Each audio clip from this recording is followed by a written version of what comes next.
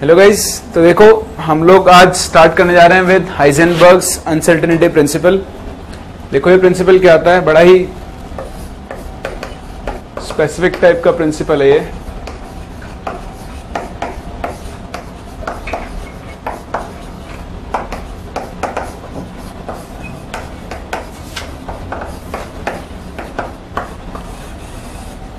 देखो पहले इसका स्टेटमेंट लिखते हैं फिर बात करेंगे आखिर ये क्या कहता है लिखो according to this principle according to this principle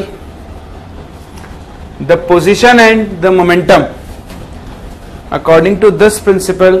the position and the momentum of according to this principle the position and the momentum of a moving particle of a moving particle cannot be determined cannot be accurately determined rather cannot be accurately determined simultaneously. According to this principle, the position and momentum of a moving particle cannot be accurately determined simultaneously. If if we try to calculate if we try to calculate the accurate value of if we try to calculate the accurate value of one quantity then error will occur if we try to calculate the accurate value of one quantity the error will occur in the other the error will occur in the other or vice versa और वैसे वर्षा देखो ये principal क्या कहता है कि जब भी आपके पास एक पार्टिकल मूव कर रहा है तो इस मूविंग पार्टिकल की पोजीशन दैट इज एक्स और इसका मोमेंटम दैट इज पी आप इन दोनों को एक साथ एक ही टाइम पे डिफाइन नहीं कर सकते जैसे आपके पास फैन होता है फैन घूम रहा होता है तो फैन की जो ब्लेड्स घूम रही हैं या तो आप एक टाइम पे उसकी पोजीशन बता पाओगे या फिर एक टाइम पे आप उसकी स्पीड बता पाओगे आप एक ही टाइम पर दोनों की बिल्कुल करेक्ट वैल्यू डिफाइन नहीं कर सकते हो ये कहता है आपके पास Heisenberg uncertainty principle that the position and the momentum of a moving particle can not be defined accurately at the same time that is simultaneously अगर हम इनमें से किसी भी एक की suppose if you try to calculate the accurate value of position then error will occur in momentum if we try to calculate the accurate value of momentum the error will occur in position and according to Heisenberg the multiplication of errors in the momentum and position is always greater than and equal to h upon 4 pi तो Heisenberg principal क्या कहता है simply कि error in the calculation of position multiplied by error in the calculation of momentum will always be greater than and equal to H upon four pi so again हम इसको थोड़ा modify कर सकते हैं P will be equal to M B अगर किसी particle का momentum change हो रहा है तो उसका मास तो चेंज नहीं हो रहा होगा क्योंकि मास क्या रहता है constant so it would be M delta B you can place this value in this equation the equation will delta x into delta v will be greater than and equal to h upon 4 pi m तो यहां पे जो terms है उनका notation गया आपके पास delta X is error in position delta P is error in momentum and what is delta V delta V is error in velocity so we can use Heisenberg principle in this mode delta X into delta P is greater than H upon four pi और delta X into delta V is greater than H upon four pi M अगर momentum में change दिया है या momentum में error दिया है तो पोजिशन में एरर निकाल सकते हो वेलोसिटी में दिया है तो भी आप पोजिशन में एरर निकाल सकते हो by using these two question तो ये होता है आपके पास हाइजेनबर्ग प्रिंसिपल अगेन यहां पे हम इसको ऐसे भी लिखते हैं कभी कभी delta X into delta V should be greater than H cross upon two pi H cross upon two N ये जो एच क्रॉस होता है this H cross is equals to H upon two pi ठीक है ये UBC का एक notation होता है तो आपसे इस तरह से भी या आप किसको लिख सकते हो delta X into delta P should be H cross by two यहां पे एच क्रॉस का मतलब क्या होता है एच अपॉन टू पाई तो ये इसके नोटेशन होते हैं तो आपको एच क्रॉस का मतलब भी पता होना चाहिए बेसिकली हम इसे इस फॉर्म में यूज करेंगे चिंता मत करो तो कभी कभी आपको लिखा हुआ मिल सकता है तो देखो इस पर कैसे क्वेश्चंस बनेंगे वैसे तो इसके ऊपर डायरेक्टली पुट वैल्यू क्वेश्चंस बनते हैं आपको कुछ डेटा दिया होता है वहां से आपको वैल्यूज आइडेंटिफाई करनी होती है और उन्हें प्लेस करना होता है तो देखो हम इस पर एक दो क्वेश्चन करते हैं फिर हमें पता लगेगा कि आखिर क्वेश्चन बनते कैसे हैं पहला क्वेश्चन लिखो लिखो question is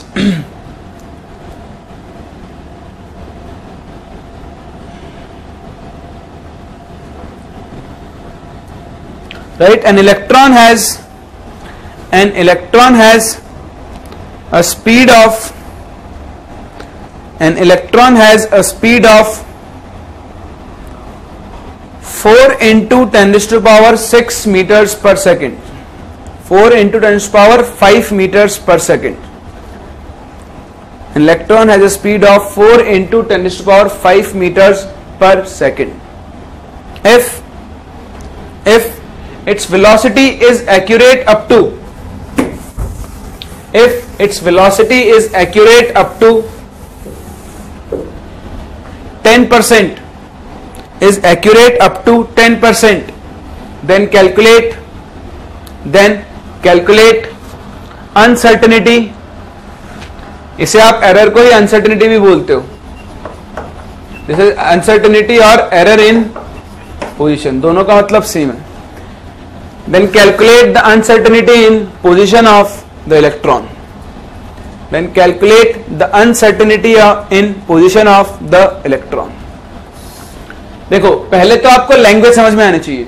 वो क्या कह रहा है एक इलेक्ट्रॉन है which is moving with speed of ten power five metre per second and the speed is accurate up to ten percent बताओ ये टेन परसेंट है वो एरर है या इसकी सही वैल्यू है सबसे बड़ा कंफ्यूजन तो यही होता है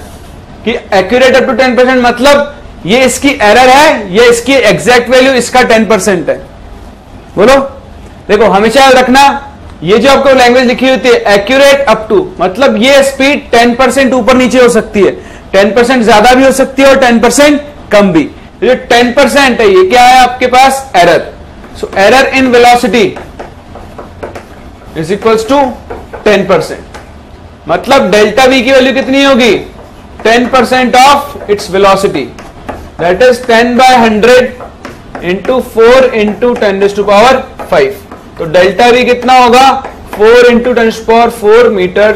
per second जहां कहीं भी एक्यूरेट अप टू लिखा हुआ मिला है कभी कभी क्वेश्चन में क्या मिलता है आपको मिलता है लिखा हुआ कि एक्यूरेट अप टू 99 परसेंट तो आप सोचते हो अरे नाइन परसेंट तो एक्यूरेट है एरर तो हो ही नहीं सकती ये तो इसकी एग्जैक्ट वैल्यू होगी तो इसमें एरर कितनी होगी 1 परसेंट तो अपना दिमाग मत लगाना जो दिया है जो सीखा है उसको डायरेक्टली अप्लाई करना है एरर 99 परसेंट भी हो सकती है अगर आपने गलत कैलकुलेट किया है तो एरर 99 परसेंट आ सकती है ये नहीं कि 99 परसेंट दे दिया अरे यार 99 परसेंट तो पॉसिबल ही नहीं है मैं तो एरर वन परसेंट लूंगा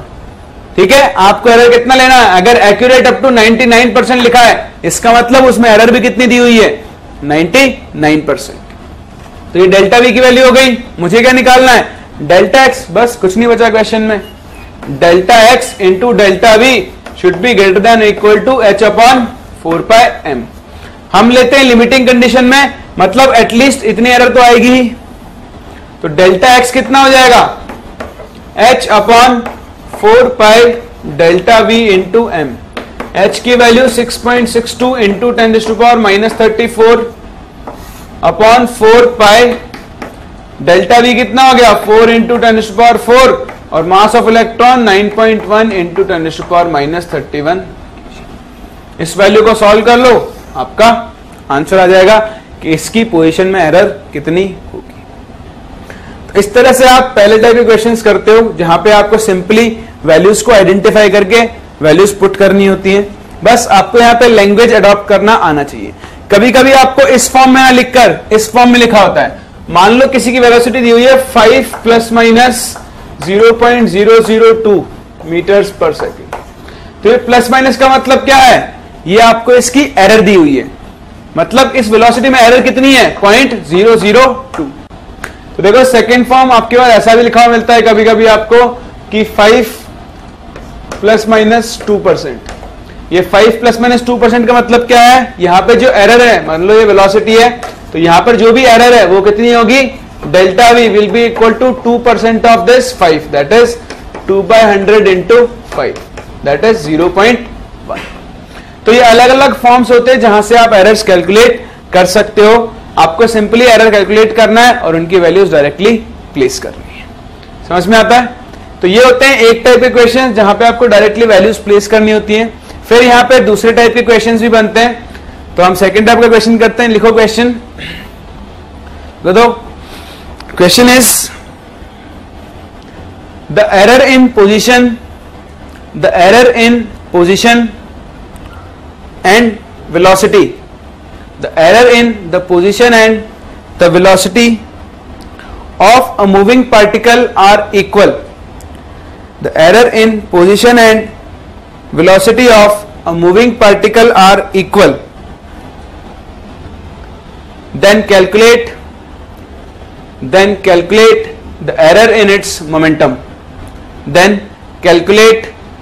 the error in its momentum तो देखो आपके पास क्वेश्चन में क्या दिया हुआ है कि पार्टिकल की पोजीशन और उसकी वेलोसिटी दोनों में जो एरर है वो क्या है सेम अगर हम इनके ऊपर हाइजेनबर्ग प्रिंसिपल अप्लाई करें तो हाइजेनबर्ग प्रिंसिपल क्या कहता है कि delta X into delta V should be greater than and equal to H upon four pi M होगा तो क्वेश्चन में क्या हुआ है कि delta X is equal to delta V तो मैं डेल्टा एक्स की जगह क्या लिख सकता हूं डेल्टा वी तो इक्वेशन क्या बन जाएगा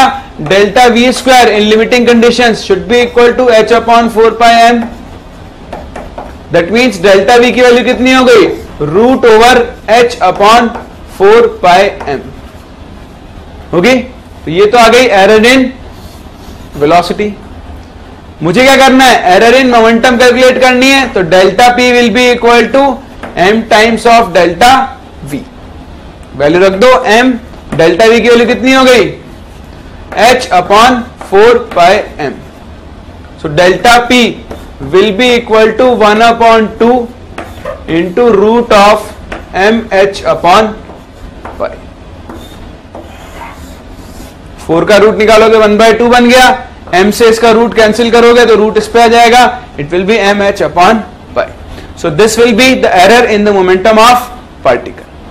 दूसरे टाइप के क्वेश्चन जैसे बनते हैं जहां पे आपको एरर इन पोजिशन और एरर इन मोमेंटम या एरर इन वेलोसिटी में रिलेशन दिया जाता है और किसी दूसरी क्वांटिटी में रिलेशन आपसे पूछा जाता है यहां पे तीसरा एक टाइप का क्वेश्चन और बनता है जो बहुत ही अच्छा क्वेश्चन है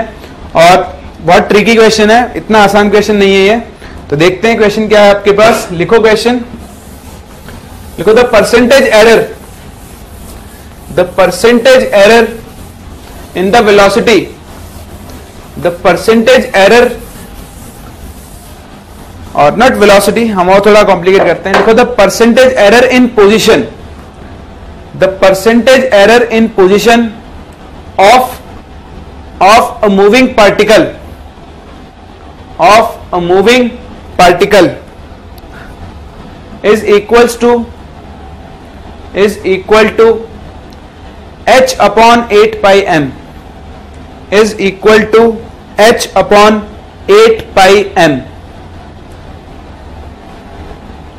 calculate calculate the percentage error calculate the percentage error in its wavelength calculate the percentage error in its de Broglie wavelength calculate the percentage error in its de broglie wavelength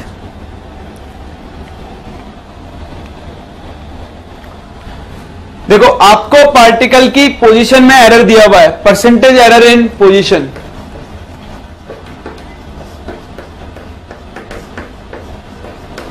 which is delta X upon X delta X upon X से आप calculate नहीं कर पाओगे चलो आप इसे percentage अरे इन velocity ही लो हमने जो पोजीशन लिखा है उसको करेक्ट करके वेलोसिटी कर लो आपको गिवन है परसेंटेज एरर इन वेलोसिटी कि percentage error in velocity of a moving electron is delta v upon आप ऐसा करो क्वेश्चन वापस से लिखो पूरा लिखो the percentage error the percentage error in the velocity the percentage error in the velocity of a moving electron the percentage error in the velocity of a moving electron is is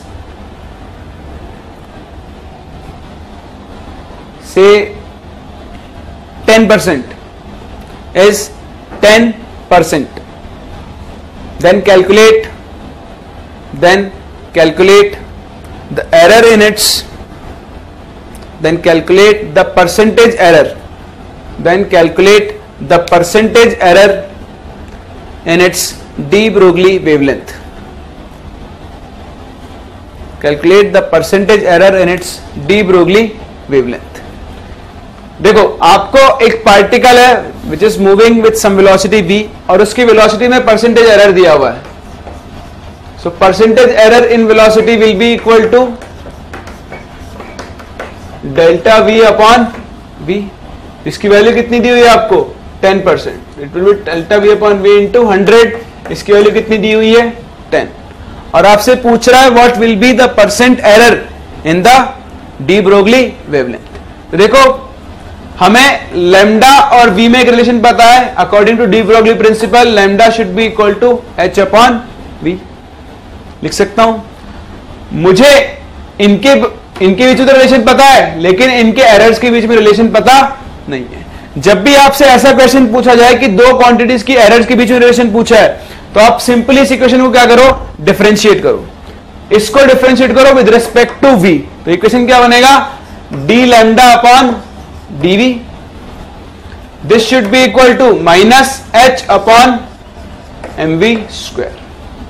क्योंकि यहां पे ये constant h constant m constant one upon v का differentiation कितना होगा minus one upon v square इस D को इधर भेज दो तो d lambda will be equal to h upon m v square into d v मैं इस एम वी स्क्वायर को वी इंटू वी लिख के डीवी अपॉन वी लिख सकता हूं ठीक है नेगेटिव साइन के लिए आप मैग्नीट्यूड ले लो हमें नेगेटिव साइन से मतलब नहीं है नेगेटिव साइन सिर्फ इतना बता रहा है कि अगर लेमडा चेंज होगा अगर वेलोसिटी बढ़ेगी तो लेमडा कम होगा वेलोसिटी कम होगी तो लेमडा बढ़ेगा ये नेगेटिव साइन सिर्फ इतना सा बता रहा है डी लेमडा को मैं डेल्टा लेमडा लिख सकता हूं this delta lambda will be equal to h upon m क्या होता है lambda according to de Broglie principle this should be equal to delta v upon v होगा इस लेमडा को इधर ले जाओ so delta lambda upon lambda should be equal to delta v upon v बोलो होगा मुझे क्या निकालनी है परसेंटेज एरर इन वेवलेंथ तो अगर मैं इसको 100 से मल्टीप्लाई कर दूं तो मेरे पास क्या आ जाएगी percentage error in wavelength which will be equal to percentage error in velocity that is again 10 percent यानी किसी भी मूविंग पार्टिकल की पोजीशन में सॉरी वेलोसिटी में परसेंटेज एरर और वेवलेंथ में परसेंटेज एरर क्या होती है सी अगर आपके पास कोई भी एक पार्टिकल मूव कर रहा है तो उस मूविंग पार्टिकल की वेलोसिटी में जितनी परसेंटेज एरर होगी उतनी ही परसेंटेज एरर किसमें होगी उसकी वेवलेंथ ये समझ में आता है आपको तो इस तरह के क्वेश्चन भी आपके ऊपर मिलते हैं कभी कभी डीब्रोगली प्रिंसिपल के ऊपर जहां पे आपको दो क्वांटिटीज की एरर्स को कोरिलेट करना पड़ता है जैसे हमने यहां पे किया क्लियर इसी के ऊपर बेस्ड एक और क्वेश्चन लिखो question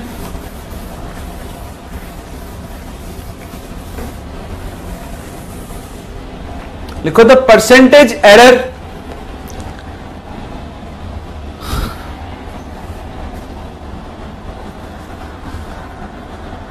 the percentage error in the position of या आप सिंपली लिखो error the error in the position of an electron an electron revolving around the nucleus an electron revolving around the nucleus in a Bohr orbit in a Bohr orbit is equal to is equal to say x is equal to x then calculate then calculate the error in calculating then calculate the error in calculating its de Broglie wavelength then calculate the error in calculating its de Broglie wavelength देखो question आपसे क्या कह रहा है question आपसे कह रहा है कि एक गोल ऑर्बिट के अंदर इलेक्ट्रॉन घूम रहा है और इस घूमते हुए इलेक्ट्रॉन की पोजिशन में जो एरर है वो कितना है एक्स आपको बताना है इसकी वेवलेंथ में एरर ठीक है तो हमने de Broglie wavelength sorry de Broglie principle और बोस मॉडल को एसोसिएट किया हुआ है two pi r is equals to n lambda यहां पे आर क्या बता रहा है इस ऑर्बिट की रेडियस जो क्या बताएगी इस इलेक्ट्रॉन की पोजीशन भाई आर ही तो इस इलेक्ट्रॉन की पोजीशन है यहां पे तो आप आपको आपको लेमडा और आर इन दोनों की एरर्स में रिलेशन निकालना है तो सिंपली क्या करो इस इक्वेशन को डिफ्रेंशिएट कर दो मैं लिख सकता हूं lambda is equals to two pi upon n into r तो अगर मैं d lambda upon d r निकालू तो d lambda upon d r कितना हो जाएगा टू पाई अपॉन एन तो डी लैमडा कितना हो जाएगा d lambda will be equal to two pi upon n into d r that delta delta will be equal to two pi upon n into delta r और delta are कितना दिया हुआ है आपको x तो डेल्टा lambda कितना हो गया two pi x upon n यहां पे एन क्या होगा नंबर ऑफ शेल अगर आपके पास नंबर ऑफ शेल भी स्पेसिफाइड है मान लो मैं कहता फोर्थ शेल तो आप यहाँ पे एनकेल्यू कितनी प्लेस करते फोर जैसे एनकेल्यू फोर प्लेस करते डेल्टा लेमडा कितना हो जाता पाई एक्स अपॉन टू तो इस तरह से आप इनकी एरर्स के बीच में रिलेशन फाइंड आउट कर सकते हो जब भी आपको एक क्वांटिटी की एरर दी हो और दूसरे की पूछी हो तो आप डिफ्रेंशिएट करके इनके बीच में रिलेशन फाइंड आउट कर सकते तो ये होता है आपके पास डी ब्रोगली प्रिंसिपल और ये होते हैं इसके एप्लीकेशंस इस टाइप के क्वेश्चन के साथ आपको डील करना पड़ सकता है ये समझ में आता है चलो तो यहां पे हमारा डी ब्रोगली प्रिंसिपल खत्म होता है नेक्स्ट हम लोग एक इंपॉर्टेंट टॉपिक स्टार्ट करने जा रहे हैं which is called photoelectric effect तो हम लोग नेक्स्ट पार्ट पे मूव कर रहे हैं अपने which is your photoelectric effect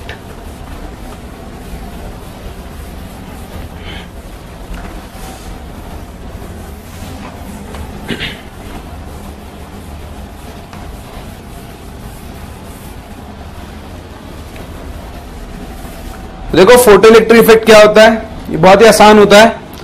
और इस पर क्वेश्चन भी आते हैं कई बार क्वेश्चन पूछे गए हैं फोटो इलेक्ट्रिक इफेक्ट चलो सबसे पहले इसे डिफाइन करते हैं आप लोग लिखो देखो when light is incident when light is incident on certain metals when light is incident on certain metals electrons are ejected out electrons are ejected out from their surface when light is incident on the surface of some metals electrons are ejected out of their surface when these electrons move when these electrons move in a circuit when these electrons move in a circuit current starts flowing current starts flowing in the circuit when these electrons move in the circuit current starts flowing in the circuit this current this current is called this current is called photoelectric current this current is called photoelectric current and the effect is called and the effect is called photoelectric effect and the effect is called photoelectric effect and and these type of metals and these type of metals are called photosensitive metals and these type of metals are called photosensitive metals देखो आपके पास क्या होता है suppose ये एक metal electrode है ठीक है इसके ऊपर लाइट आगे गिरती है फिर तो कुछ स्पेसिफिक टाइप ऑफ मेटल्स होती हैं जिनके ऊपर अगर लाइट अगर गिरती है तो इनके सरफेस से इलेक्ट्रॉन क्या हो जाते हैं बाहर निकल जाते हैं और ये इलेक्ट्रॉन्स अगर दो इलेक्ट्रोड्स के बीच में मूव करते हैं तो जब भी इलेक्ट्रॉन मूव करता है आपके पास क्या होता है सर्किट में करंट फ्लो होता है तो यहां पे जो करंट फ्लो होता है इस करंट को हम कौन सा करंट कहते हैं photoelectric current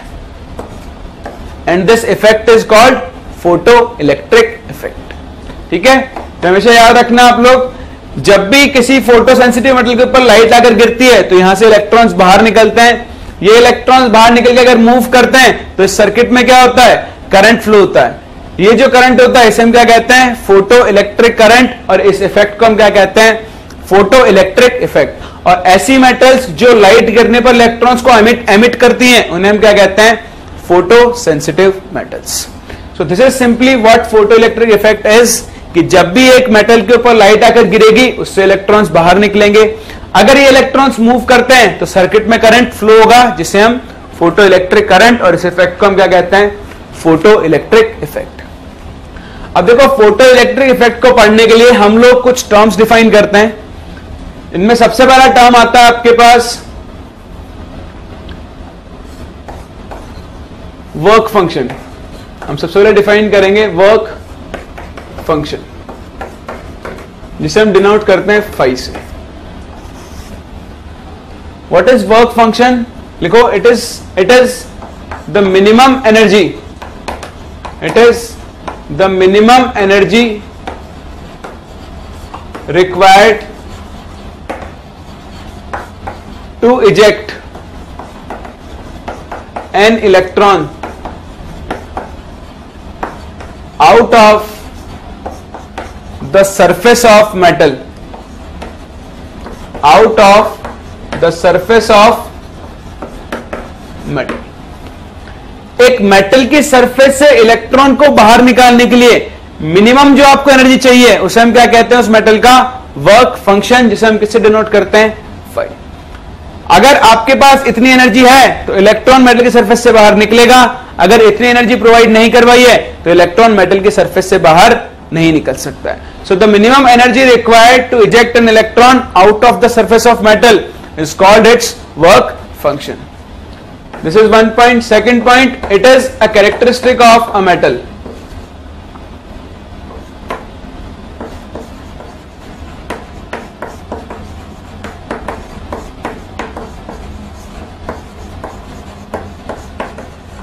that means हर एक मेटल के लिए वर्क फंक्शन की अपनी एक वैल्यू होती है अलग अलग मेटल्स के लिए वर्क फंक्शन की वैल्यूज क्या होंगी अलग अलग this is a characteristic of a metal दो अलग अलग मेटल्स के लिए वर्क फंक्शन की वैल्यूज भी क्या होंगी अलग अलग so what is work function the minimum energy required to eject an electron out of the surface of metal इसी के करस्पॉन्डिंग हम एक और टर्म डिफाइन करते हैं जिसे हम कहते हैं थ्रेस होल्ड फ्रीक्वेंसी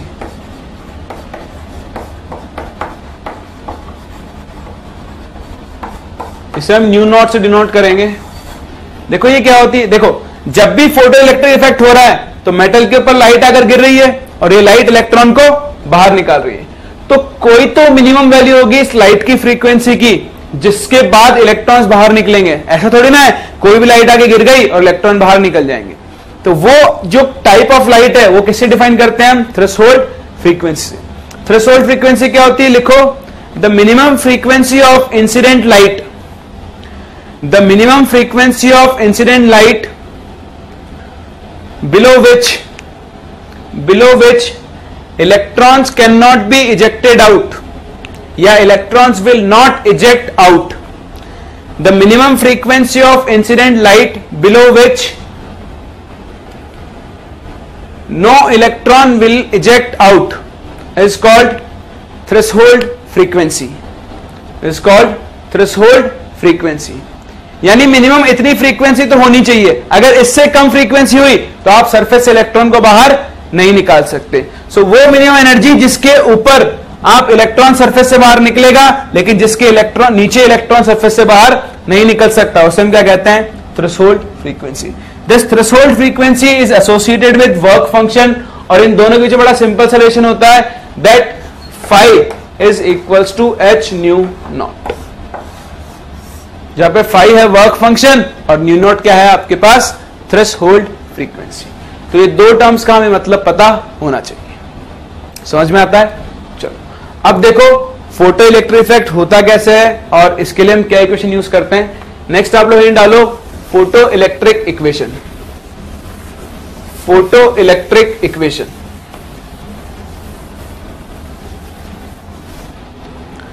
देखो फोटो इलेक्ट्रिक इक्वेशन आप बड़ी आसानी से जन, जनरेट कर सकते हो ये आपकी इंसिडेंट लाइट है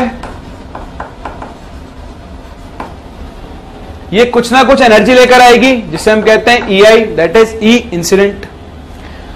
ये लाइट जब इससे आगे टकराएगी तो जो भी इंसिडेंट एनर्जी है वो दो पार्ट्स में यूज आएगी एक पार्ट तो काम में आएगा इलेक्ट्रॉन को बाहर निकालने में होगा और दूसरा पार्ट कहां काम में आएगा इस इलेक्ट्रॉन को मूव करवाने में अगर इलेक्ट्रॉन सिर्फ बाहर निकल के रह गया वो मूव नहीं करेगा तो सर्किट में करंट फ्लो नहीं होगा that means photoelectric effect show करने के लिए इलेक्ट्रॉन्स का बाहर निकलने के साथ साथ उसका मूव करना भी जरूरी है तो जो भी आपके पास इंसिडेंट लाइट होगी वो दो पार्ट्स में काम में आएगी एक इलेक्ट्रॉन को बाहर निकालने में और दूसरा उसे मूव करवाने में तो इसी बेसिस पर हम हमारा फोटो इलेक्ट्रिक इक्वेशन ड्राइव करेंगे आप लोग लिखो लिखो energy of incident light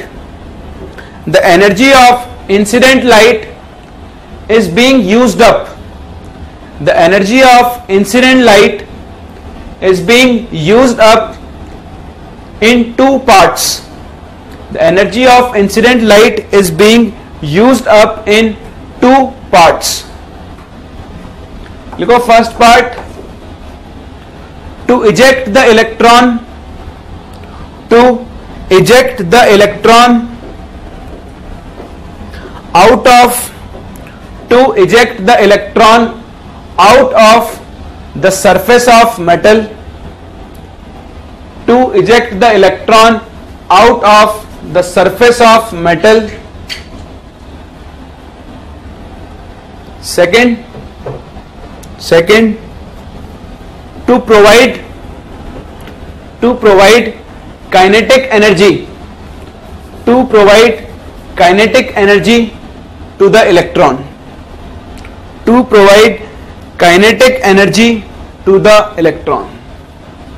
तो देखो जो भी इंसिडेंट एनर्जी है उस इंसिडेंट एनर्जी को आपने दो पार्ट्स में यूज किया है एक energy to eject the electron दूसरा energy to move the electron मानते हो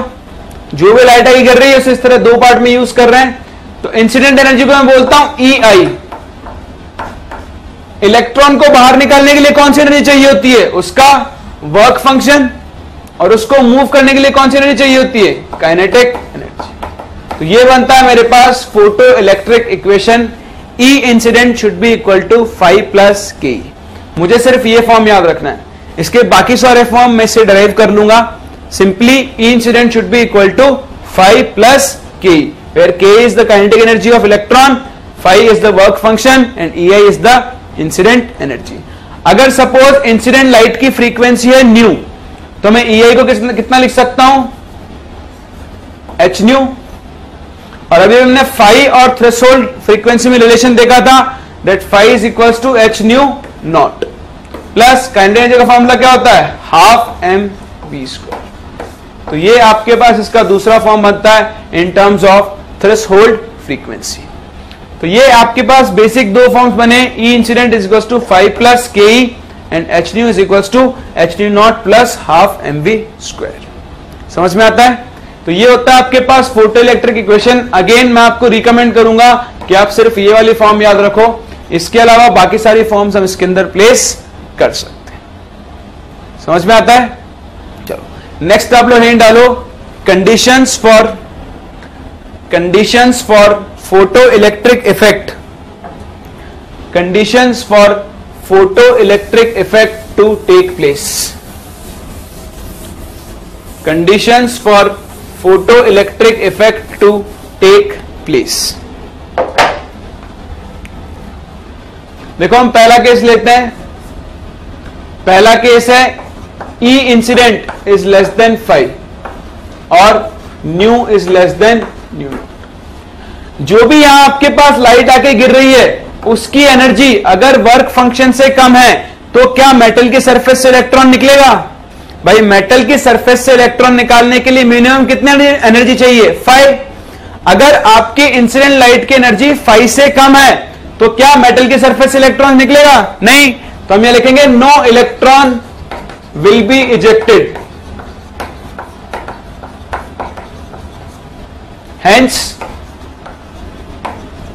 no photoelectric effect observe अगर इलेक्ट्रॉन बाहर ही नहीं निकल रहा है तो फोटो इलेक्ट्रिक इफेक्ट ऑब्जर्व कैसे हो समझ में आता है then second if e incident is equals to phi और nu is equals to nu naught अगर इंसिडेंट लाइट की एनर्जी वर्क फंक्शन के बराबर है तो क्या इलेक्ट्रॉन सरफेस से बाहर निकलेगा हाँ निकलेगा लेकिन वो निकलने के बाद मूव नहीं करेगा वो निकल कर क्या हो जाएगा वहीं पे रुक जाएगा जबकि फोटो इलेक्ट्रिक इफेक्ट शो करने के लिए इलेक्ट्रॉन का मूव करना जरूरी है दैट मीन्स यहां पे electron will be ejected out but it will not move और अगर ये मूव नहीं करेगा then no photoelectric effect will be observe समझ में आता है तो अगर आपका इलेक्ट्रॉन बाहर भी निकल जाता है तब भी जरूरी नहीं कि वो फोटो इलेक्ट्रिक इफेक्ट शो करे फोटो इलेक्ट्रिक इफेक्ट शो करने के लिए आपके इलेक्ट्रॉन का मूव करना जरूरी है then case third if e i is greater than phi और nu is greater than nu naught अब जो इंसिडेंट लाइट की एनर्जी है वो फाइव से क्या है ज्यादा है तो इलेक्ट्रॉन निकलेगा भी और मूव भी करेगा that means electron will eject out and will move so photoelectric effect is तो मेटल को फोटो इलेक्ट्रिक इफेक्ट ऑब्जर्व करने के लिए आपके पास एक ही कंडीशन है दैट इंसिडेंट लाइट की एनर्जी फाइव से ज्यादा हो या इंसिडेंट लाइट की फ्रीक्वेंसी थ्रेशोल्ड फ्रीक्वेंसी से क्या हो ज्यादा अगर ये कंडीशन नहीं है तो बाकी दोनों कंडीशंस में फोटो इलेक्ट्रिक इफेक्ट ऑब्जर्व नहीं हो सकता इसके ऊपर बेस्ड आईटीजी में क्वेश्चन आया था क्वेश्चन मुझे एग्जैक्टली exactly याद नहीं है लेकिन मतलब वैल्यूज मुझे एग्जैक्टली exactly याद नहीं है बट हम लोग उसके ऊपर बेस्ड एक क्वेश्चन कर सकते हैं फॉर एग्जाम्पल क्वेश्चन लिखो आप लोग पहले कॉपी करो और फिर क्वेश्चन लिखो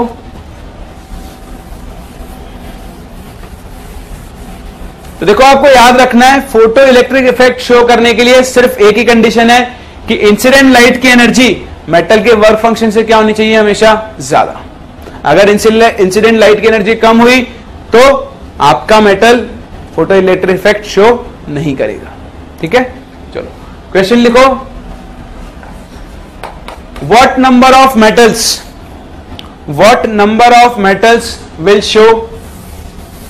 will show Photoelectric effect. What number of metals will show photoelectric effect if light of wavelength if light of wavelength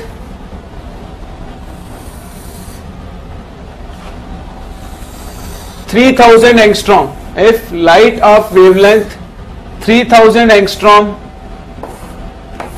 is incident is incident on following metals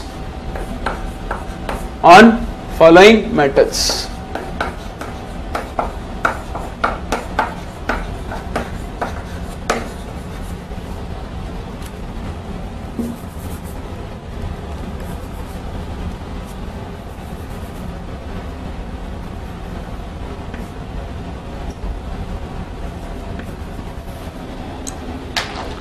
आपको इनके वर्क फंक्शन दिए हुए electron volt में this is four electron volt this is four point one three this is three point five this is two point nine this is four four point point zero two eight five point आपको बताना है इनमें से कितने number of metals will show photo electric effect अगर इनके ऊपर जो लाइट गिर रही है उसकी वेवलेंथ कितनी है 3000 thousand angstrom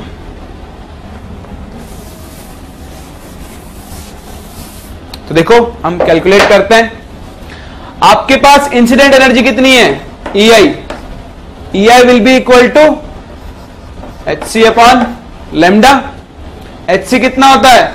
one two four double zero electron volt into angstrom upon lambda lambda कितना होगा it's 3000 एंगस्ट्रॉम एंगस्ट्रॉम से एंगस्ट्रॉम दो जीरो से दो जीरो गए ये वैल्यू कितनी आएगी 4.13 इलेक्ट्रॉन आएगी ठीक है चलो तो इंसिडेंट लाइट की एनर्जी कितनी है 4.13 electron volt to show photo electric effect E I should be greater than five तो जिन जिन मेटल्स के लिए इंसिडेंट लाइट की एनर्जी 4.13 से ज्यादा सॉरी फाइव की वैल्यू 4.13 से कम होगी वो metals photo electric effect show करेंगी बाकी मेटल्स शो नहीं करेंगे देखो इसके लिए फाइव कितना है फोर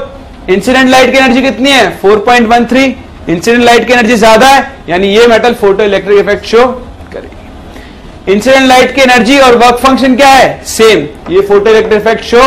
नहीं करेगी यहां पे भी वर्क फंक्शन क्या है कम है शो करेगी ये भी शो करेगी ये भी शो करेगी लेकिन ये दोनों शो नहीं करेगी क्योंकि यहां पे वर्क फंक्शन इंसिडेंट लाइट की एनर्जी से क्या है तो फोटो इलेक्ट्रिक इफेक्ट शो करने के लिए सिर्फ एक ही कंडीशन है कि आपके पास जो भी इंसिडेंट लाइट है उसकी एनर्जी क्या होनी चाहिए मेटल के वर्क फंक्शन से ज्यादा होनी चाहिए अदरवाइज वो metal photo electric effect show नहीं करेगी तो ये होते हैं एक टाइप के क्वेश्चन जो फोटो इलेक्ट्रिक इफेक्ट पे बनते हैं दूसरे टाइप के क्वेश्चन जिनमें हम डील कर सकते हैं वो बेस्ड होते हैं फोटो इलेक्ट्रिक इक्वेशन पे फॉर एग्जाम्पल एक क्वेश्चन लिखो देखो the ratio of kinetic energies the ratio of kinetic energies of electrons the ratio of kinetic energies of electrons emitted emitted in a photoelectric effect the ratio of kinetic energies of photoelectrons emitted in a photoelectric effect by using frequencies by using frequencies nu1 and nu2 by using frequencies nu 1 and nu 2 is 1 by n is 1 by n then calculate calculate the work function of metal calculate the work function of metal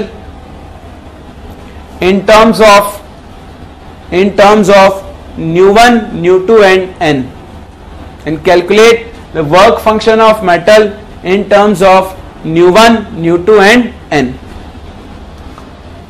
देखो आपसे कह रहा है कि जब आपने एक metal पर मेटल सेम है एक लाइट गिराई न्यू वन फ्रीक्वेंसी की और एक लाइट गिराई न्यू टू फ्रीक्वेंसी की तो यहां जो इलेक्ट्रॉन निकला उसकी काइनेटिक एनर्जी से के वन e और इसकी काइनेटिक एनर्जी से के टू e इन दोनों का रेशियो कितना दिया हुआ है आपको के E one upon K E two should be equal to one by N ठीक है देखो मेटल सेम है तो दोनों का वर्क फंक्शन भी क्या होगा सेम तो फोटो इलेक्ट्रिक इक्वेशन क्या कहता है कि E incident should be equal to five plus K अगर इंसिडेंट लाइट की फ्रीक्वेंसी है न्यू वन तो मैं इसको कितना लिख सकता हूं H nu one should be equal to H nu naught plus K E one लिख सकता हूं सिमिलरली दूसरे केस के लिए H nu two should be equal to H nu naught plus K E two क्या मैं यहां से के ई वन और के ई टू की वैल्यूज निकाल सकता हूं के ई वन कितना होगा H nu one minus H nu naught so K E one will be equal to H common nu one minus nu naught similarly ke2 this will be equal to h common nu two minus nu naught होगा तो यहां पे मैं दोनों को divide कर सकता हूं तो के E one upon K E two will be equal to H से H cancel nu one minus nu naught upon nu two minus nu naught should be equal to one by N cross multiply कर लो N into nu one minus N into nu naught should be equal to nu two minus nu naught होगा तो इस new not को इधर ले लो और N nu one को उधर भेज दो तो आपके पास अल्टीमेटली इक्वेशन क्या बनेगा यहां से nu naught common one minus N and this should be equal to nu two minus N nu one तो अगर हम फाइनली न्यू नॉट की वैल्यू लिखें तो न्यू नॉट कितना हो जाएगा आपका nu two minus N nu one upon 1 minus so this will be the value of nu naught in terms of nu 1 nu 2 and n समझ में आता है तो ये सिंपल फोटो इलेक्ट्रिक इक्वेशन होता है जिसको आपको यूज करना होता है ये इनके फोटो इलेक्ट्रिक इफेक्ट के ऊपर बेस्ड दो टाइप के क्वेश्चन हैं और क्वेश्चन होते हैं जहां पे आपको सिंपली वैल्यूज पुट करनी होती है ऐसे क्वेश्चन को भी हम डील करेंगे लेकिन नेक्स्ट क्लास में ठीक है नेक्स्ट क्लास में हम इसके कुछ और अच्छे क्वेश्चन और एप्लीकेशन करेंगे और एक टर्म और पढ़ेंगे स्टॉपिंग पोटेंशियल्स और उसके बाद हम लोग नया टॉपिक स्टार्ट करेंगे that is your quantum numbers